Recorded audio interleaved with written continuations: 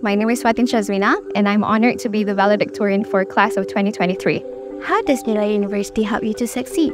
How Nilai University helped me succeed is a long pathway, definitely, starting from my first semester up until where I am today.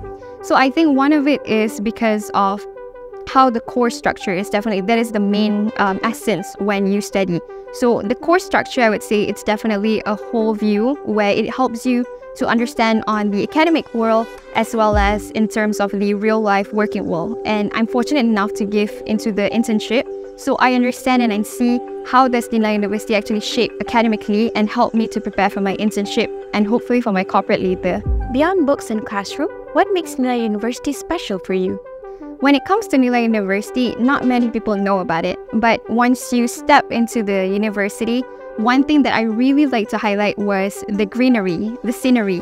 So what how does it help? I would say psychologically it it just gives you like a calm essence. So whenever you're stressed studying um, after class, not understanding what you really learned, going back, just looking the scenery um, around you, it definitely helps.